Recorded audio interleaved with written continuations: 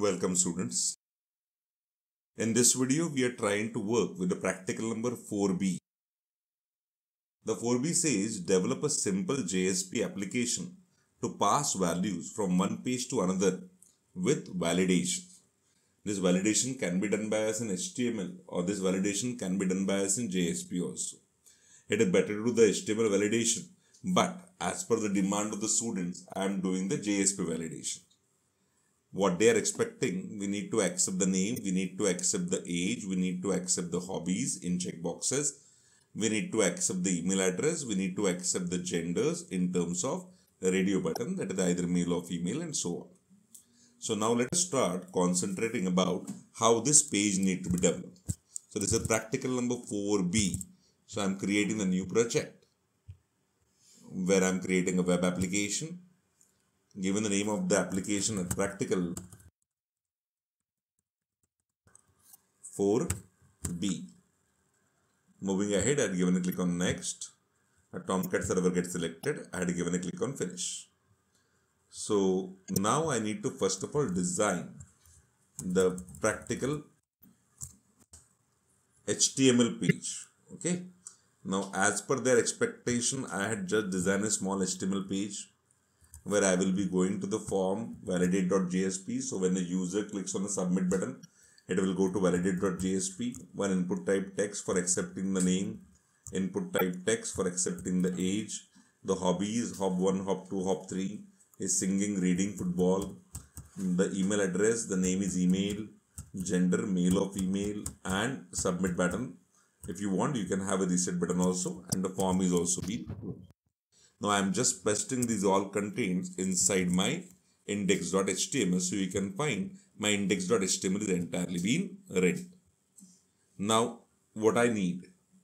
I need to go for developing the JSP page which is named as validate.jsp. So let us concentrate how we can create the validate.jsp. So I just go to JSP and give a name to the JSP page as validate dot JSP. And here I require to complete my validations. Now I want name should not be empty, age should not be empty, age must be number, age must be above 18. Anyhow, I'm just expecting name should not be empty and age should not be also empty. If name and age is empty, then show us the error and display the form where the user will be again entering all the values. And if everything is correct, then do one thing, then just display the data which is being submitted. So there are two tasks. One, validate the data. If data is appropriate, display the value. If data is not appropriate, show the form again along with the validation message. This is what been expected by the university. I'm just writing very small code. First I'm started writing the JSP code inside my scriptlets. So here I am started taking the variables by saying string name equal to request dot get parameter. The object text box name is name. Here again I am providing string age str equal to request dot get parameter and providing the text box name as age. Uh, let the hobbies, gender, email address that I am not going to check you can add up the condition as per your requirement. First I am checking whether name is empty or not. First I am taking one variable string err msg equal to empty. So error message is one variable taken by me and I had kept it as empty.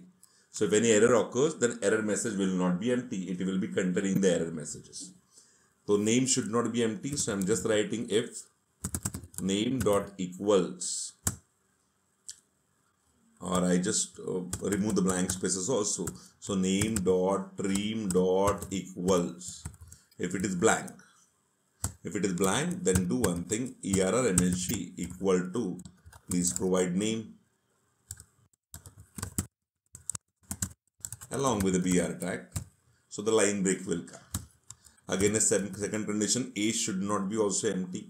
So I'm writing if age str dot trim dot equals if it is also empty then errmsg equal to please provide age and a line break but I want if both are there then error message should be concatenated. So i'm writing error message plus equal to.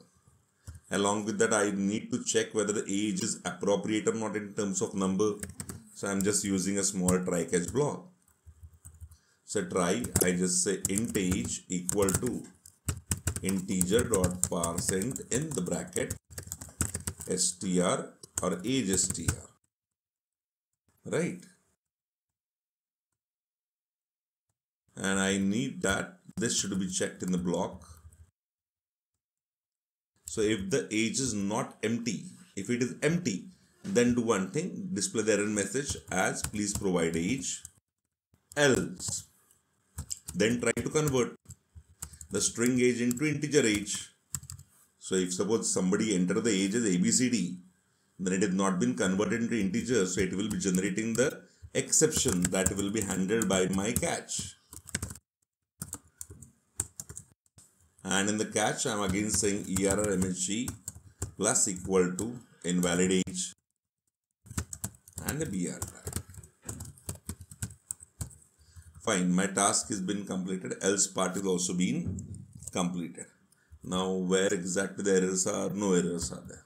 If else is also been over. Now at the end I will be trying to check whether error message is having any value or not. If error message is having a value, it means there is some problem in the form data.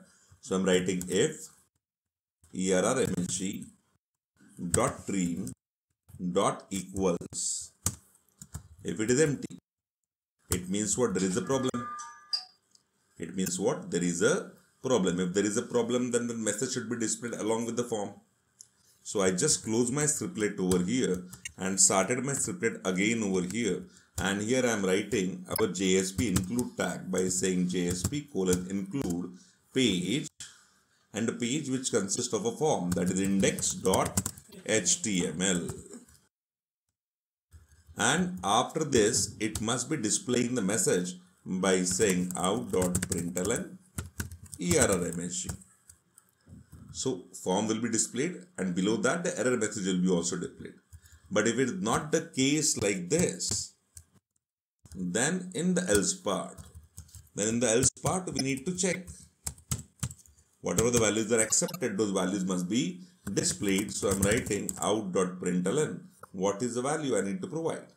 I need to provide the value as name plus request dot get parameter name right? Or otherwise you can just use our variable called as name. Again I'm writing out dot println br tag age request dot get parameter age I need to have a double quotes over here also sorry. So fine. Uh, after that I need to display what hobbies and gender. So I'm email address also. So you can go and add in the contents as per your requirement.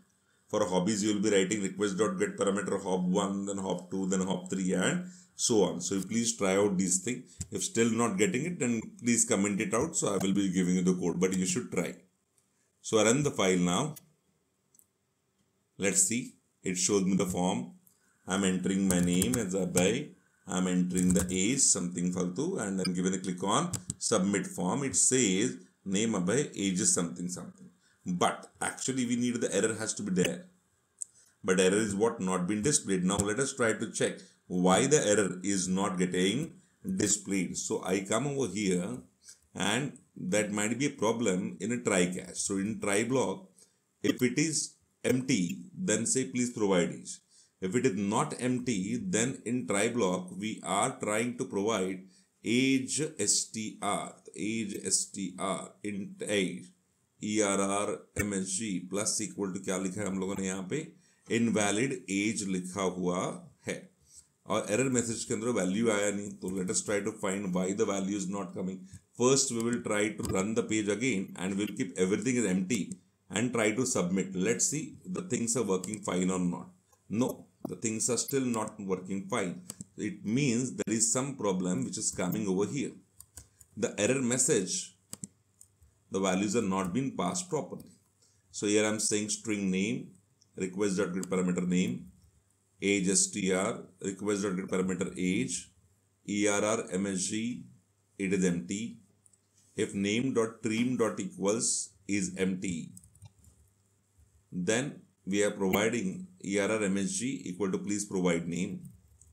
If age str, the same variable, dot trim dot equals is also empty, then we are providing the error message equal to please provide the age, else try block, then err msg dot trim dot equals if it is empty uh, there may be a problem over here only just wait a minute class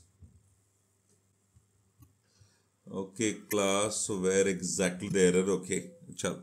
Uh, there is a problem over here I had written if the error message is empty then display the error message ऐसा तो नहीं होगा so I need to provide over here equal to equal to false and now if I try to go for running the page let's try to check I run the file And I just give a click on submit form. It shows me the error message. I'm providing the name. I'm providing the age. I give a click on uh, submit form. So it provides the details. So now what is needed? You need to add up some kind of condition for validating for email and display the values of hobbies and gender which is selected by you. So please try to do this particular thing um, and have a successful practical. So thanks a lot students. Música